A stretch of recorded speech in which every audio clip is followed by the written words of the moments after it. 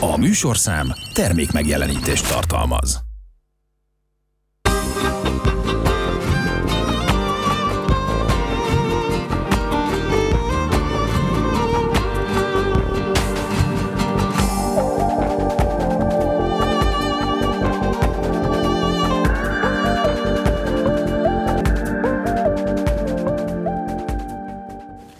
Szép estét kívánok, köszöntöm az Agrárinfo nézőit. Most eljött az az időszak, amikor a következő műsorok sorában megbeszéljük a gazdákkal, szakemberekkel természetesen, hogy mi minden történt ebben az esztendőben a Magyar Agráriumban.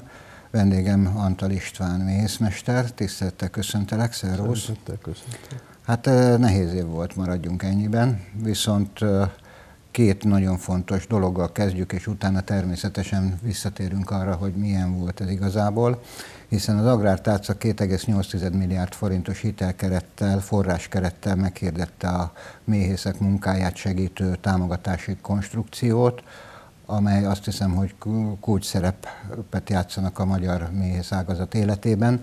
Nagy István agrárminiszter jelentette ezt be.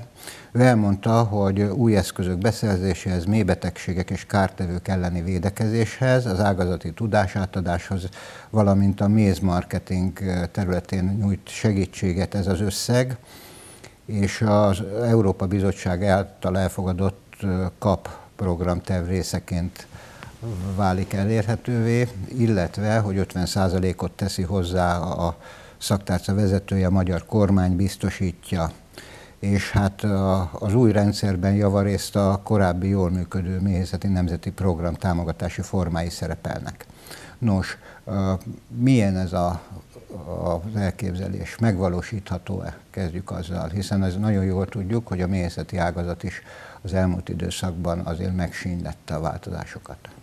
Hát pár év alatt nagyon megsínlette a változásokat igazából teljesen más rendszerű ez a, ez a támogatás, támogatási rendszer. Ez, ez a méhészeknek is alkalmazkodni kell, és, és gyakorlatilag új, új szemlélettel kell hozzáállni. Vannak olyan támogatási formák, amik, amik beváltak voltak, azokat kivették, más formában tették be, és hát nagyon reméljük, hogy, hogy igazából mikor, mikor oda kerül a sor, hogy, hogy szembesülünk vele, hogy a méhészek tudnak vele élni, akkor, akkor ez, ez pozitívan fog kihatni a méhészekre. Igazából vannak olyan, vannak olyan, olyan támogatások, amik, aki, amik más néven vagy más formában kell, kell ezeket a pályázatokat beadni, de de hát meglátjuk, hogy, hogy ez hogyan, hogyan lesz realizálható. Ennek kapcsán még egy pályázat, aztán tényleg arról fogunk beszélgetni, hogy mi történt az idén. A Tehetsz még többet kezdeményezés, ugye 2023-ban az ENSZ fenntartató fejlődés edukációs kampányban ez a kampány lett a legjobb. Ez mit jelent, hiszen a méhészeti ágazat helyzetét is biztosító, magyar családok megélhetésére azért nagy hatással lévő pályázat volt, illetve hát ez egy ösztönzés jelentett igazából a hazai mézfogyasztás növelésére.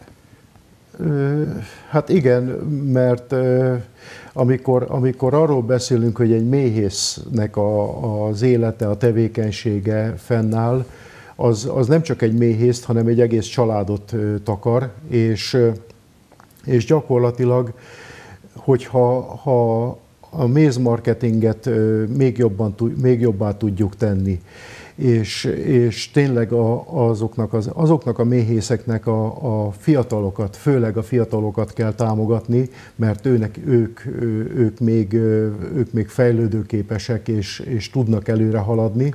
Na most, hogyha ha egy, egy méhész és a családja ö, ö, talpon tud maradni, akár egy marketing segítséggel, akár egy, egy szemléletformálással, akkor, akkor mindenféleképpen előre tudunk haladni. Sajnos azt kellett tudomásul vennünk, hogy a méhészeti ágazat is egy előregedő ágazat, és, és mindenféleképpen, hogyha szeretnénk fenntartani azt, hogy, hogy a méhészet megmaradjon, akkor a fiatalokat kell belevonnunk. Igen, hát 20 ezer magyar családról van szó, ne feledhetjük hiszen az ágazatban ennyien foglalkoznak méhészettel. Emellett pedig ugye ez a felhívás talán biztosíthatná, ha természetesen, ha elindul komoly formában, hiszen azt tapasztaltuk, hogy a méhek és egyéb beporzók tömeges pusztulása nem állt meg. Nagyon nem állt meg, és, és hogyha belegondolunk abba, hogy hogy amikor beporzó rovarokról beszélünk, akkor sajnos azt kell tudomásul vennünk, hogy a méhek adják azt, azt a nagy tömegű beporzó rovart, amit az ökoszisztémánkban fenn kéne lenni. Fenn kéne, meg kéne lenni ezeknek a fajoknak az összességének. Ugye itt nem csak méhekről, hanem, hanem egyéb más fajokról is beszélünk, és hogyha ha csak a méhek tudják megadni azt a tö- mély beporzó tömeget, ami szükséges ahhoz, hogy, hogy a környezetünkben lévő növények beporzódjanak. És, és ezt sajnos az utóbbi években azt kellett látnunk, hogy, hogy mivel a fajok pusztulnak ki, és hogyha a méhészek is feladják, akkor ottan egy élő tömegbeni veszteséget fogunk elszenvedni. Nos, hát ennek tükrében akkor beszéljünk az idei időszakról, az eddig eltelt azt mondom, hogy 2023-as évről, hiszen az időjárás sem, bár azt mondják az agrárgazdák, hogy az időjárás ez nagyon jó volt, azt mm. látjuk, hogy a búza, kukorica, napraforgó, repce és az összes többi gabona viszonylag jó állapotban vészelt át ezt az időjárási, mm. hektikus időjárást. De mi a helyzet a méhészettel?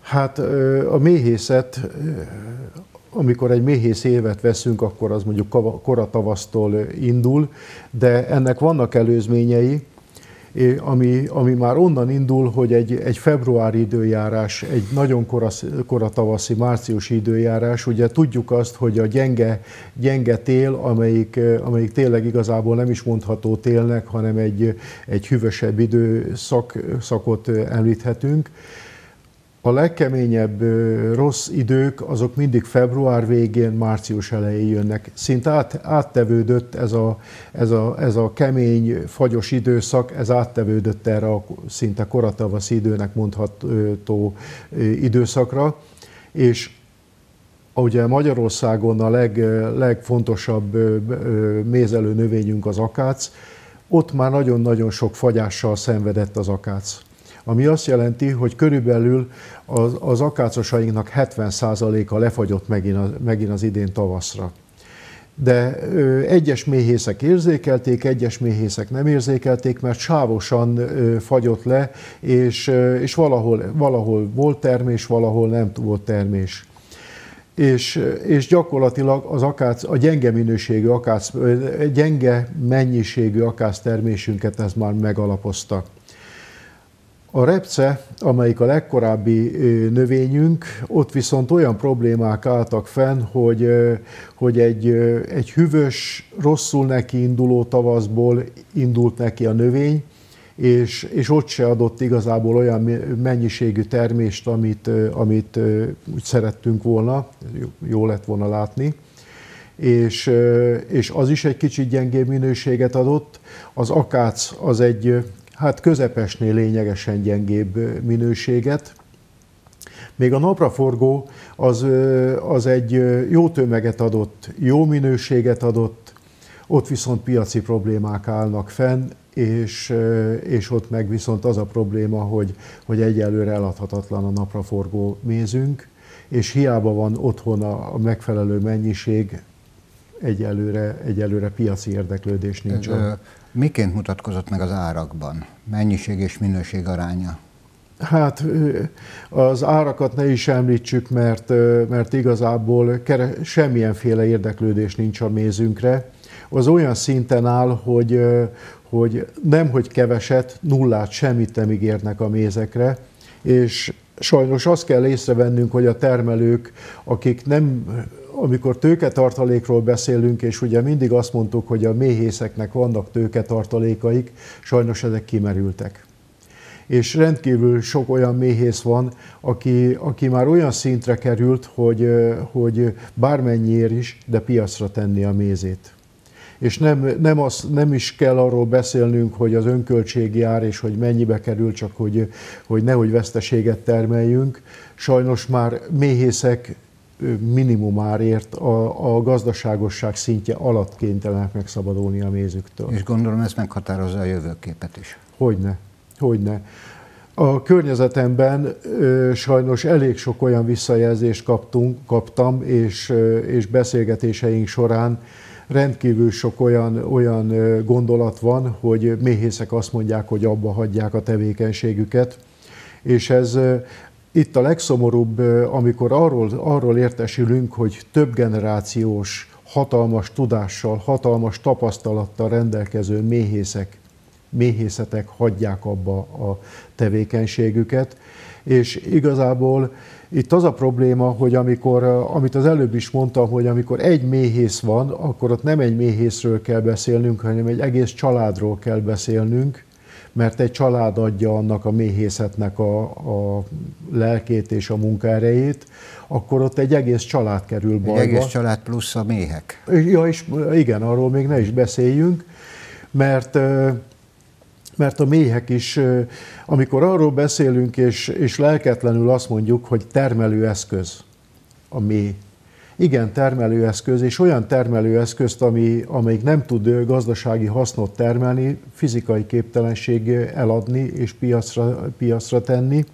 És, és ami a legrosszabb, hogy a környezetünkben is nagyon-nagyon felszaporodott az elhanyagolt méhészeteknek a, a mennyisége, mert, mert a méhészek azt mondják, hogy nem tesznek bele pénzt, nem etetnek vissza, a gyógyszereket nem vásárolják meg, és, és gyakorlatilag a méhészet elhanyagolódik, és az elhanyagolódó méhészet az egy fertőző gócot képes kialakítani a környezetében, több kilométeres körzetben is akár. Igen, hát ezt megtapasztaljuk sajnos. No, Folytassuk azzal, hogy egy levélrészletet fogok felolvasni, amelyet Ursula von der Leyen, Leyen az Európai Bizottság elnöke kaphatott meg nem régiben, pontosan szeptember 25-én küldték el az aláírók. Az aláírókat azért elmondom, mert Györfi Balázs a Nemzeti Agrárgazdasági Kamara elnöke, Jakab István a MAGOSZ, tehát a Magyar Gazdakörök Országos Szövetségének elnöke, Csorbai Attila, a Baromfi Termék Tanács elnök igazgatója, Petőházi Tamás, a Gabonatermesztők Országos Szövetségének elnöke, Zászlós Tibor, a Magyar Állattenyésztők Szövetségének elnöke, és végül, de semmiképpen nem utolsó sorban, Bros Tamára, Bros Péter, az Országos Magyar Méhészeti Egyesület elnöke írta. A következőképpen szól, több százezer magyar, tisztelt elnökasszony, több százezer magyar gazdát, termelőt képviselve jelen nyílt levélben azzal a határozott kéréssel fordulunk önhöz, hogy a szakmai szempontok figyelembevétele haladéktalanul vizsgálják felül az ukrán gabona behozatali tilalmának felfüggesztését, és újra rendeljék el a korlátozást, és a bizottság elhibázott döntését is más tegyék jóvá, már amely szerint eltörölte az ukrán mezőgazdasági termékek vámját, és ebből a levélből, ez egy hosszú levél egyébként, ebből itt van, hogy mit szeretnének, hiszen ez vonatkozik a mézre is, mm. méghozzá nagyon is kiemelten. Azt kérik, hogy az ukrán terményekkel szemben is tartassák be az uniós termelésre vonatkozó környezetvédelmi és növényegészségügyi előírásokat. Ugye nagyon is jól tudjuk, és így kapcsolódjunk be azzal, hogy ha a nagyáruházainkat járjuk, neveket nem mondunk természetesen, de ö, tudomásul kell vennünk, hogy a magyar méz elvétve található a, a polcokon. Olyan kínai, ukrán, teszem hozzá, Igen. mézek szerepelnek, tehát Ukrajnáról tudnunk kell, hogy a földügy ok- okán az ukrán gazdák olyan akármilyen szereket használnak, amelyek az Unióban tilosak. Így van. Használni. A kínai mézről jobb, ha nem is beszélünk, hiszen a kínai méz az sárga, folyós, édes, de azon felül semmi köze a mézhez. Ezek mennyire gátolják meg, hogy a magyar méz továbbra is keresett legyen? Kezdjük a, az ukrán mézzel, hiszen tudjuk, hogy az ukrajnai földeket különböző nagy konzorciumok bérlik, illetve tulajdonolják, és olyan növényvédőszereket használnak, amelyek az Unióban tilosak. Így van. Az ukrán méz egy előnye van, hogy legalább méz, egy természetes, természetes mézről beszélünk, amit az ott növényi kultúrák virágzó állományaiból gyűjtöttek a méhek. De amit, amit az előbb is említettél, hogy olyan kemikáliákat használhatnak és használnak az ottani termelők, amit, amit az Unióban abszolút nem elfogadott, és, és ezzel olyan szermaradványok maradnak bent a, a, a mézben, amit, amit az Unióban nem lehetne használni. De az a gond, hogy amíg egy magyar, magyar méhész, egy magyar termelőnek nulla szermaradvány lehet a mézében, addig a kintről érkező mézek, ezek ilyen szempontból nincsenek vizsgálva. És forgalomba is kerülhet az a méz, ami, amit onnan behoznak. És a mi mézeinket, hogyha összevegyítik, akkor, akkor lesz belőle egy kevert méz, ami szintén tartalmazza ezeket a, ezeket a kemikáliákat. És, és gyakorlatilag megetetik velünk azt a mérget, amit, amit ott kint bekerül a növényekbe, vagy a növényekből a mézbe. Ezen kívül, ami még nagyon nagy probléma, hogy még az év elején az ukrán méz az 1 euró 7 centért jött be az Unióba, ez is leesett 1, millió, 1 euró 4 centre.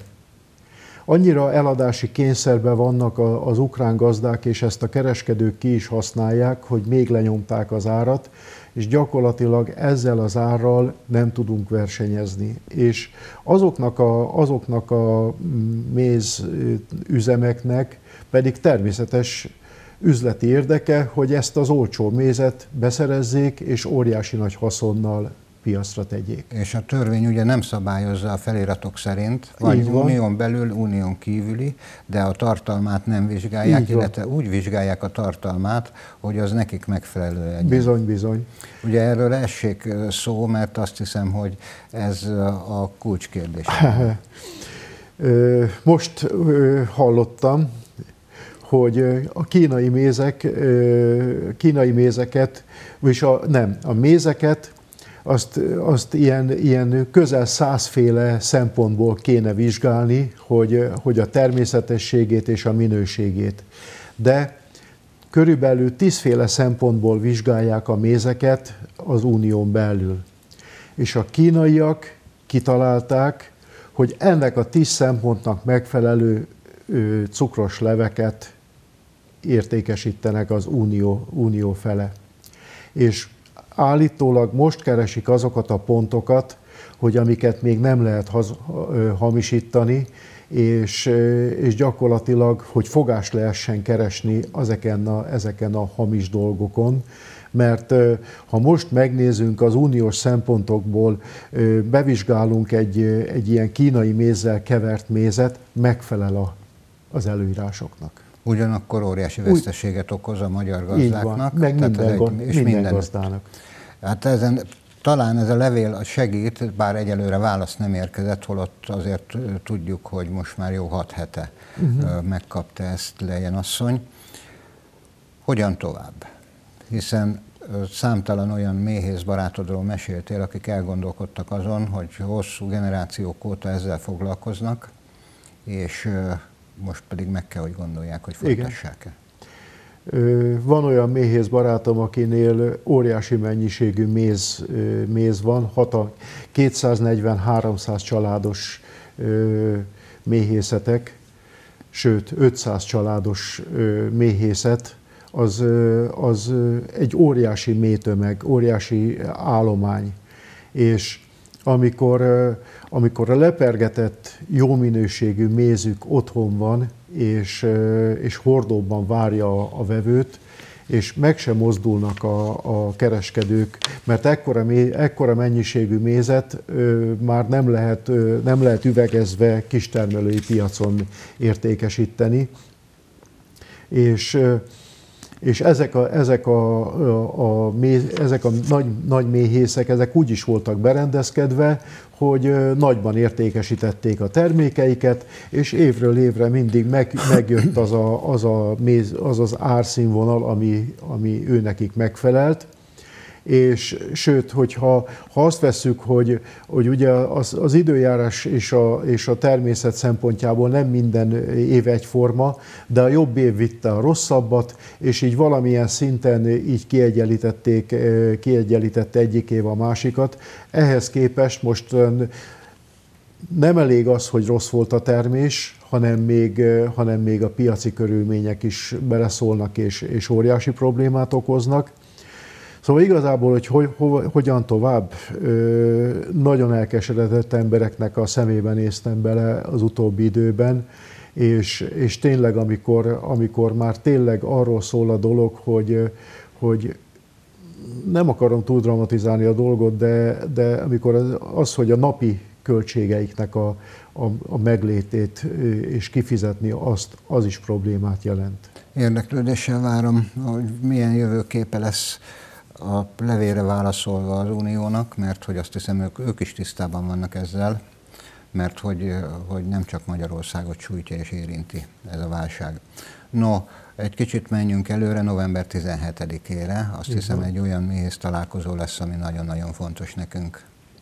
Ö, november 17-én a Kodály iskolában ö, lesz az első évadnyitó mézes reggeli, ami már évről évre egy ilyen tradicionális megmutatkozása a méhészeknek, és Nagy István mezőgazdasági miniszter úr vendég, vendégségbe eljön hozzánk, és, és megnyitja ezt a, ezt a szép, szép kezdeményezést, és ott igaz, hogy ez egy nem egy nyílt, nyílt bemutatkozás lesz, de az iskola tanulói és tanárai azok feltétlenül ott lesznek, és, és közel 600 gyerek fogja ott megtapasztalni a méhészeknek a, a munkáját, mézet tud kóstolni, egy kicsit betekintést tud nyerni abba, abba a millióba, amit a méhészek átélnek minden nap és, és a Szent István mézlovagrend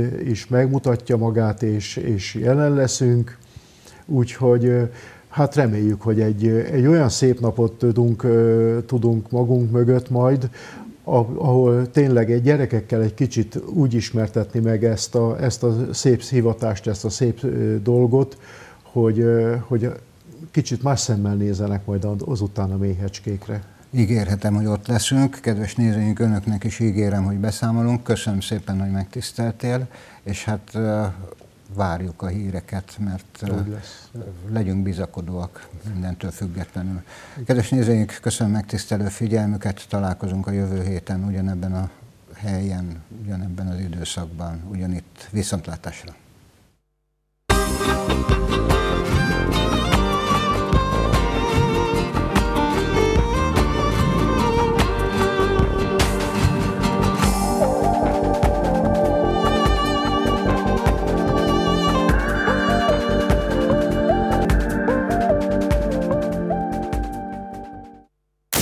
Műsorszám termék megjelenítést tartalmazott.